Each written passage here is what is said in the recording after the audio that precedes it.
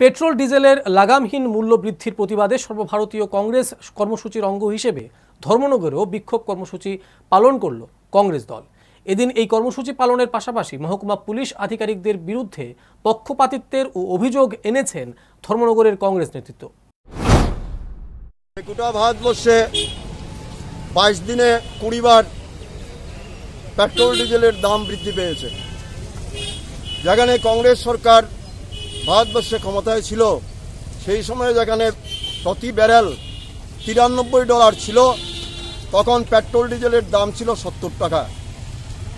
আজকে আন্তর্জাতিক মার্কেটে যেখানে পেট্রোল ডিজেলের ব্যারেল প্রতি দাম চল্লিশ ডলার, সেখানে আশি টাকা, বিরাশি টাকা, পঁচাশি টাকা পেট্রোল ডিজেলের দাম হয়েছে।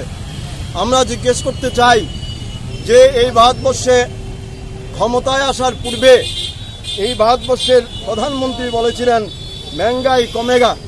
কিন্তু আমরা দেখলাম